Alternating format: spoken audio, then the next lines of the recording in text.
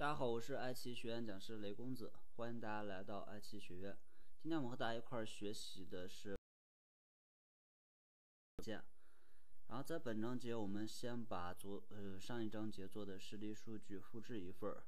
然后我们可以看到这块儿，假设我们领导可能经常需要去看我们的一些重点指标，例如他到底来访了多少人，然后到底有多少的一个消费，还有多少的一个签约。就假设这么三个数据吧，然后我们可以先输入一个来访，在这块儿把它改成一个卡片图，我们就可以看到我们有一个来访七百万，七百万人。然后假设我们可以，也可以把我们的留电数同样的给它改成一个这样的一个数，我们留电是一百四十万。那我们先留电，然后预约，我们一个一个给它改了放进去。我们预约的话，也给它改成卡片图。我们可以看到，快我们就快速的做出来了一个三个动态指标的一个展示。当然这块的话，我们也可以给它加一些什么外边框呀，一些其他的，我们就先不不演示。我们可以看到这块，假设我们点击新疆的话，我们可以看到右侧这个地图的话，它也快速帮我们定位出新疆。然后这块的话也是快速的帮我们定位出了一个新疆的一个留电预约还有来访。这个的话，当然它都是整个报表所有数据的一个总数。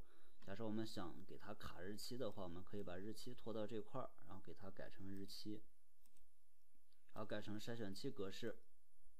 当然我们下边这个地图不需要，我们先给它删掉。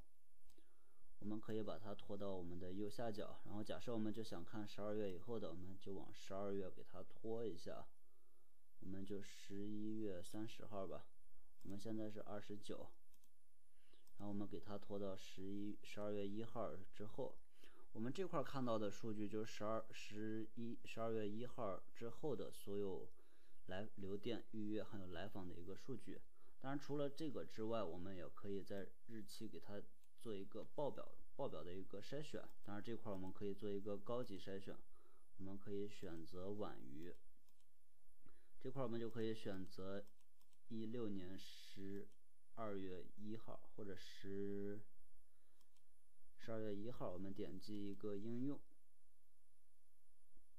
我们可以看到报表就快速的帮我们把数据，然后我们现在就相当于整个报表，我们所有报表。数据都是从十二月一号，然后往后的一个数据，因为我们这块是用了一个报告级别的筛选。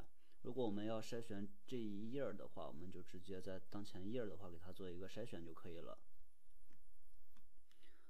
好了，我们这块筛选先去掉，我们就假设我们先用这块去控制。然后我们当然还有一个多行的一个卡，我们看一下多行的卡是什么意思呢？假设我们公司有好几个项目，然后我们每个项目的一个消费都要展示出来的话，我们这块可以用多行卡。然后这块的话，我们也可以给它，假设我们我们把一个来流电来访，我们可以都给它放进去。然后假设这块我们还有一个签约金额，然后以及它的一个预约人数。这样的话，我们就可以看到我们每。当然这块它是每一行每一行的一个流电，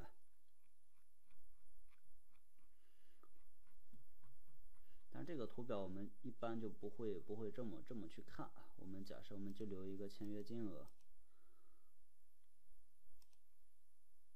我们可以看到它把每一笔的签约金额都帮我们。我们假设我们这块有个。终端，我们把终端给它放进去，我们可以看到 PC 跟移动也就会帮我们汇总分分别显示到这一块儿，然后我们就先不用这个图，然后假设我们看一下 KPI 的图跟我们前边用的卡片图有什么区别，我们把 KPI 图表新建一个，然后我们把它的一个签约金额扔进去，然后我们可以看到这块儿它没有一个轴。我们轴的话，当然我们要根据日期走向轴，我们可以选择一个日期，我们就可以看到它显示了一个，然后我们把它的一个签约金额，我们在同样的也是给它以卡片的形式也显示在右边，我们看一下。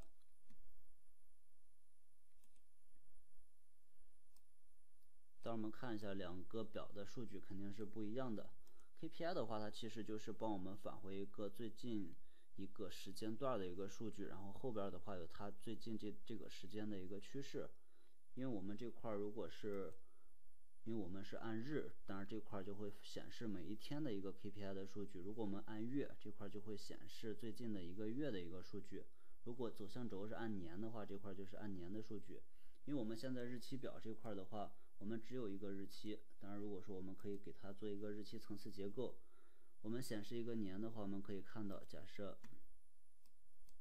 我们这块给它清除筛选，我们可以看到这块是一百四十九亿。当然，一七年的话，我们可以把表筛到一七年，我们用这个拖动条快速的给它拖到一七年一月一号。然后我们点击一个确定，我们可以看到它是一个五十亿，当然它是有一个单位的。我们在这个把它的指标也可以给它改成十亿吧。我们可以看到它是四点七五十亿。这个就是我们一月一号，然后到一月十二号的一个数据。然后它总数其实是五五十亿，然后我们给它。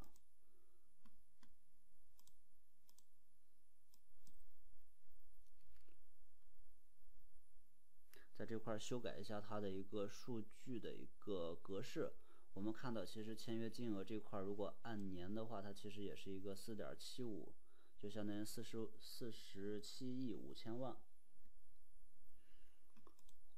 好了，我们看到了这两个指标，这块如果按年，因为它只有一年的数据，所以后边的那个背景是空的。如果我们把它拖开的话，我们可以看到，它后边会生成一个灰色的一个背景，也就是这个数据它的一个趋势。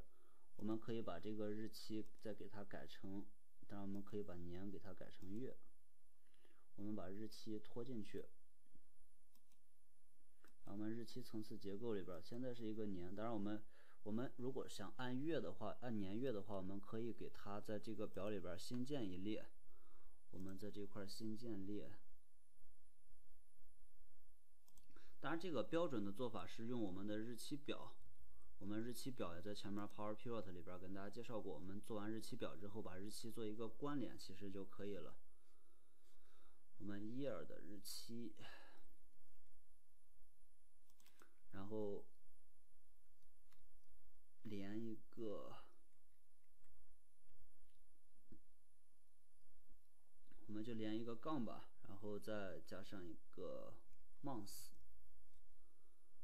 Month 的一个日期，我们点击确定，我们就可以快速的看到，它就帮我们去生成一个年月的一个数据。当然，因为我们这个数据有将近一千多万，它一千多万行，所以它在添加计算列的时候，它因为它是一次性计算的，所以这块可能会需要几秒钟到十十秒左右的一个时间。我们再返回去。我们把我们添加的一个年月的一个给它加到它的一个走向轴，我们就可以看到它背背后就出现了一个年月的一个走势。当然，它这块的话是显示最近一个月，就是我们刚才看的。不管你这块时间筛选是多长的时间，我这块始终是显示最近一个月的一个数据。那么最近一个月是二零一七年一月份，它总共有四。四四十四十七亿五千万，所以这块就会显示四十七亿五千万的一个数据。这块的话就是一个 KPI 的一个指标。然后到这块的话，我们基本上把常用的一个图表，然后就给大家介绍完了。然后当然后边也也有一些像仪表呀，这个是显示一个显示任务完成度等。然后如果说呃，大家实际有需求的话，可以简单的去了解一下，一下也是特别简单的。我们这块可以看到，它有一个值，最大值、最小值，还有个目标值，其实就是我们做一些任务额完成度的时候需要使用。然后还有这块的一个树状，就一个树状图，我们可也可以简单的去看一下。假设我们看地域的一个资源情况，我们把地域拖进去，然后再给它把一个流电数也拖进去。它就会快速的帮我们把资源做一个排序，当然排最多的可能就是新疆。当然，我们数据的差异化不是特别大，所以这块不是特别明了。我们把地域撤掉，假设我们看一下时段吧。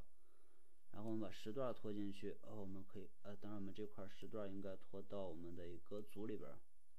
我们可以看到零时的一个数据，它是最多的，然后一二，然后五四，呃三四五，然后后边的数据可能就会稍微比较少一些。哦，我们流电数应该是时段拖到这块儿，把流电拖到值这块儿。我们可以看到二十三点的数据是最多的，然后这样是排序的，然后后边二十点的数据是最少的。而这个的话就是它的一个树树状图，也是反映结构的。我们把这张图可以剪切到它的一个占比分析，我们可以给它粘贴到这块儿。当然，我们可以把把它的一个切片器往往上给它移一下。这样的话就是我们我们基本上在做竞价竞价可视化的时候，基本上会常用的图表也就这么多。